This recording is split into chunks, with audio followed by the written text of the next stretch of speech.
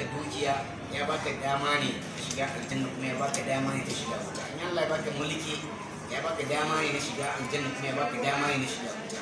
Hakan ya baka ilimi ya baka dama ne na shiga wuta kuma ya baka dama na shiga aljanna. To haka ita ma kamar a safar da malam ke daukin mana da shi kenan wannan wayar da kuke gani to in ga dama ka buɗe aljanna ne da ita kamar da shi abin da yake yi kenan qur'ani yake turawa a sassanin duniya. Allah ka kai san da saƙon shi ke kai ba wannan da gaske ne kuma kamar yadda ya faɗa mutane suna biyo shi da abin da yake turawa. Qur'ani kai yake tura da saƙon Allah. Haka shi ya buɗe alkhairi da shi. To akwai shi kuma wani shi sharri ya buɗe. Kuma yadda ya faɗa ɗin su wanda suke tallan sharri su kuma sun fi samun kuɗi. Wanda suke tallan batsa. Kai wani abu ma mai kyau wani abu ba ba batsan ba ne amma za a yi tallan shi sai a yi tallan da batsa. An san mutane hankali suna kan batsan da ka je ka taɓa ka tsammanci batsan ne da ka buɗe sai ga wani kamfani yake maka talla. Saboda ka ɗan taɓa ɗin saboda san hankalin mutane na kan batsa. Wannan musiba ce. Akwai wata uwa da take gaya min wallahi yarinyar nan shi yasa yanzu ba ta da ƙawaye. Kawarta waya inda babanta ya sai mata wayan nan sai ka ta wannan a ɗaki na ce kin shiga ba?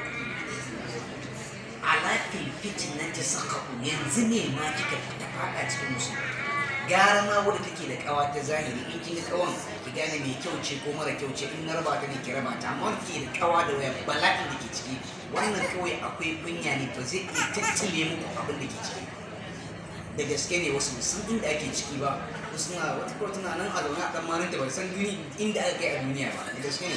Amma akwai wasu a nan suna jin mu ne kawai. Ma'ana sun su da su ake komai sun san inda aka kai sun san suna jin abin da ake faɗa sun san me muke so mu ce to wannan tuntuni ba wata kafa ta musiba da in malamai. Allah ya saka malaman mu da alkhairi. Da sun hangi wata musiba ta tunkari al'umma sai su ga ku kula da nan ku kula ku kula. An dinga kenan amma sai ne gurin sai mun ji mu a cikin musiba. Haka muke kullum. Haka ita ma wayan tun da ta zo kun ji sunan da malamin ya bata? G S M. G ga S sabuwa M matsala. Mana ga sabuwar matsala. Kuma da gaske ne matsalar ce ce sa malamai suka ce kar ka yadda ka bar irka ta riƙe waya. In dai kana so ta zo mana lafiya. Hatta na kashi kashi tsinnan. Hatta ita. Ma'ana ka tsare ta ka ba ta tsaro ka ba ta kulawa. Sai sa ku kula ga wasu gidajen sun tare yayan su sun kisi su mallaki waya. Sai a ta ganin ƙauyenci ne. An wuce wannan zamani yanzu gaban wannan a ce ba ta da waya. To da ta riƙe kuma me ta samu? Ko me ta rasa. Ta rasa da yawa. Ko ba ta samu da yawa. Amma mun ki yadda da wannan yara. Shi sa yanzu ita da wanda take ba shi labarin ai nadama take a ina ta samu lalacewa a cikin waya. In kana ganin abin da ke ci sai ka ce la haula wala quwwata illa billah. Saboda ga wannan kuma Allah ya saka malam da alkhairi. Wanda ya ji ya ji dama in alaika illa albalagh. Allah ce ban dora maka komai da sai isarwa. Wanda ya ji kuma ko? Shi zai amfana. Wanda ya ce ba zai ji ba ba da ka iya da shi. Lasta alaihim bin shakir Allah ce ba mu dora maka sai ka dawo da kowa ya banya ba wanda ya ga dama ga zai banya ya zo ya bi. Wanda ya ce ba zai ba ya ban mu da kayan mu. Mu dai za mu yi abin da za mu iya. Muna fatan kuma Allah ya ba mu sabati duniya da lafiya da na ƙarshe a gurguje mun riƙe ku da yawa. Akwai goron sallah da muke so mu gabatar da shekara. Bara cikin yardan Allah bayan mazaje da yawa. Sun gabatar da mene? Wa'azuka na ramadana muka ce za mu goron sallah sai ka a turo muku mace yar muku to gashi bana ba mata. Yanzu za a turo muku bana mata ba su yi karatu wani ke nufi. Ma'ana bana mata ba su yi karatu ba a nan ko ba mace ko ɗaya. Kun ga ba rawancin ko? Saboda da abin da ya faru musu malama aisha ta zo. Amma yanzu wa kuke so a cikin malaman ku ya dawo? Malaman da suka zo suke. Wancan ba ku zaɓa ba kawai bara ko bara tunda ba mace bara ku zaɓa ba. Eh? A'a baki aka ce baki banda ni a ce muna so ne a amfana da bakin wasu malamai. Ai mu muna tare kullum da kowa. Malam Rabiu a da wata ta yi mana bukin ɗin shi akwai bikin aure. Muna sa ta ce auren da ya tashi tana ta zaɓi Malam Rabiu ya zo ya gabatar. To muna ganin bai kamata ya zo su biyu ba. Ko zaɓa muku ne? Malam da'i. To malam musa da'i ko?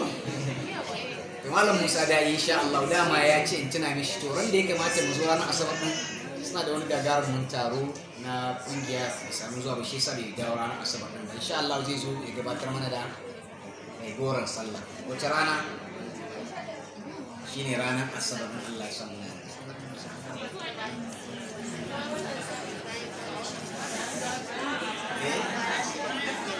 muna sa ran za a yi azumi za a yi sallah ranar lahadi. In kuma ba a ga wata ba sai ranar monday. To in ya zama ranar monday da na so gaskiya mai a shi ranar alhamis ne. Saboda akwai ziyarce-ziyarcen sallah da muke zuwa ba zai ba za mu samu dama cikin wannan. Sai ɗauki ɗauki alhamis. To alhamis ɗin kuma in an yi sallah ranar monday ba zai samu zuwa ba. To shi sa ba san kuma wanne za a yi ba. Shi sa sai muka ranar juma'a kuma yana da kuɗu ba na limamin juma'a ne ba zai samu zuwa ba ranar juma'a. Shi sa dole muke shi asabar. Saboda in Allah ya kai mu asabar za mu yi ƙoƙari ya zo insha Allah. Karfe goma. Kamar yadda aka saba ƙarfe goma. Sannan abu na biyu kuma ƙarfe goma Allah ya kai mu ranar asabar. Sannan abu na biyu shine akwai wankan gawa da khairi foundation suka yi mana alkawari ya zo su karantar da mata a nan ko? Da sun so su yi shi kafin azumi ga lokaci ya kure muka ce su yi haƙuri sai bayan azumi. To su ma za mu tattauna da su mu ga wace rana ne. Kila an zo goron sallan za a faɗa da za a zo kuma a gabatar da wannan wankan gawa ɗin. Ana so ki iya wankan gawa domin ka ki adana gawarki. Kuna bar mu suna jagwalgwala mu gawa. Ba sa musu wanka su ma ba zai tattofe ta da miyau. Je ke ma ki iya ki samu lada. Kuma yana ƙara imani. Sannan bayan nan muna gayyatar mafi yawancin da kuka zo karatun da muke gabatarwa ranar asabar ƙarfe goma duk ranar asabar. Kare zama sai azumi ne ake dawo wurin Allah. In azumi ya wuce kuma an je an wargar sai kuma wata shekara. Ko da baki shiga makaranta ba ko kuma da kina zuwa kina wata makarantar ababe abin da nake nufi ko da kin gama makaranta ranar asabar wannan ƙofa a buɗe take ƙarfe goma zuwa ƙarfe sha ɗaya da rabi. Muna gabatar da karatu abin da ya shafi tarbiyya. Muna yi ne don mu gudu tare mu tsira tare. Wannan ƙofar a buɗe take ba sai yar makaranta ba kamar yadda muke wannan karatu. Insha Allah Allah sa mu dace. Sai kuma abu na ƙarshe shine maganan bonanza da aka bayar. A ga wannan karan an ce tun da an ce da ɗari biyar sai sai ba su zo ko? Mutum wai mutum ne kai suka su an ce sai an ba da ɗari biyar. Wacce da muka ce kyauta? Sai zama har mutum hamsin da wani abu mu samu. To amma sai muka fahimci yuyuyu ne. Kawai zuwa kawai sun suka zo da sun yi kwana biyu da ba su fara ko sisi ba. Sai su kama hanyar su tafiye saboda sun san mahimmancin abin da ake musu shi sa muka zaɓi ɗan sa kuɗin. In kuɗin ne ya yawa bai ɗan mana magana mu gane yanzu. Kuɗin ne ya sa ba a zo ba. Sai mu rage yanzu kuma za mu iya rage kuɗin ne ya yawa? Ɗari biyar ɗin ne ya yawa? Amma dubu biyu ake rajista in ya zama bayan sallah dubu biyu ne. Sai kin kawo dubu biyu za mu ki rajista in ya wuce wannan kwanakin. Ɗari biyar ɗin ya yi yawa ne? Ina tambaya ne. Ba wai kun yau ne ranar ƙarshen ba. Zuwa 29 ko ranar da aka ga wata ana ganin wata an yi terminated ɗin abu. Kuɗin ne ya yawa? To to shi kenan alhamdulillah. To in Allah ya kai mu a nan za mu tsaya mai addu'a. Abinda makaranta daidai daga farko da duk malaman da suka zauna kan wannan kujerar zuwa wannan lokaci. Duk abin da aka ji daga bakin su daga Allah ne na daidai. Wanda aka ji kuskure kuma daga shaitan ne. Allah ka yafe musu Allah ka yafe mana gaba ɗaya Allah ka shirya da mu ka shirya da zuriyar mu Allah ka karɓi imanin mu Allah ka tabbatar da daga mu. Kuma matan mu Allah ka ji kansu Allah ka rushe su Allah ka sa su muta dole ke da wani mamaci a cikin mu in yana cikin kunci Allah ka yaye masa. In yana cikin yalwa Allah ka ƙara yalwata musu. Kuma ta mutu zo Allah ka sa mu cika da kuɗi masu juna biyu Allah ka sauke su lafiya. Baban da aka haifa mana Allah ka taimaka mana ka sa mana hannu cikin tarbiyya. Ya Allah wayanda ake yantawa cikin wannan watan Allah ka sa mu a cikin su. Inda ake musu gafara da inda ake musu rahama Allah ka sa mu a cikin su. Allah ka yi da muka da ayyukan Allah abin da ka fi ƙarfin abin da ya fi ƙarfin mu Allah ka fi ƙarfin sa. Allah abin da ba za mu iya ba Allah ka iya mana.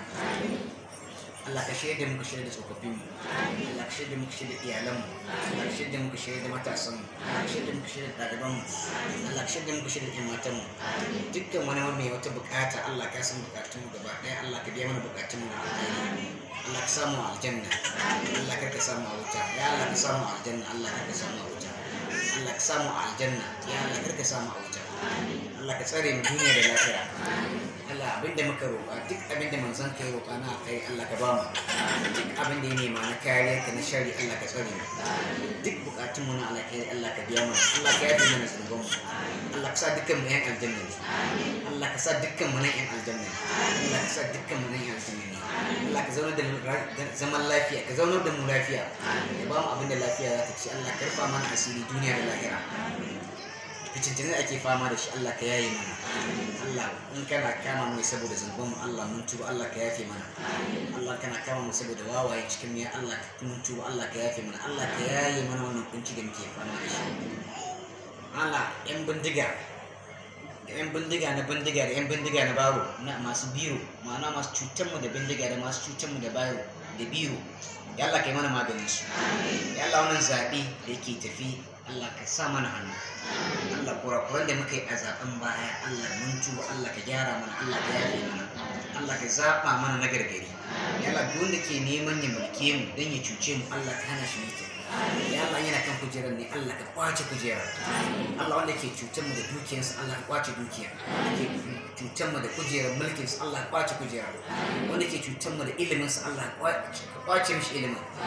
Allah duk wanda yake so ya taimake mu ya taimaki al'umma ya taimaki ƙasar mu in yana kan kujerar ne Allah ka tabbatar mishi da kujera in baya kai Allah ka kwaci kujerar wanda ke cutar mu Allah ka bashi Allah ka zaba mana nagari wanda su amfani su amfani addini da duniya da lahira bismillahir rahmanir rahim karanta fatiha ka faɗi mai tawassuli da ita duk abin da kuka yi Allah ya sa ka babe ni bismillahir rahmanir rahim alhamdulillahi rabbil alamin الرحمن الرحيم مالك يوم الدين اياك نعبد واياك نستعين اهدنا الصراط المستقيم صراط الذين انعمت عليهم غير المغضوب عليهم ولا الضالين اللهم صل على محمد وعلى آل محمد وارحم محمد وعلى آل محمد كما صليت وأنت بارك على إبراهيم وعلى آل مجيد. اللهم ات نفوسنا تقواها وزكها أنت خير من زكاها أنت وليها ومولاها. قابل السماوات والارض أنت ولينا في الدنيا والآخرة. توفنا مسلما والحقنا بالصالحين اللهم أرحمنا بالقرآن العظيم. واجعله لنا اماما وهدى ونورا ورحمه اللهم زكنا منه ونسينا وعلمنا منه ما جهلنا واهدنا إلى صراطك المستقيم وتوفنا مسلمين برحمتك يا الراحمين اللهم علمنا القران اللهم علمنا القران اللهم ربنا زدنا علما علما نافعا وعملا صالحا متقبلا برحمتك يا ارحم الراحمين سبحان الله وبحمده سبحان الله العظيم سبحان ربك رب العزه عما يصفون وسلام على المرسلين والحمد لله رب العالمين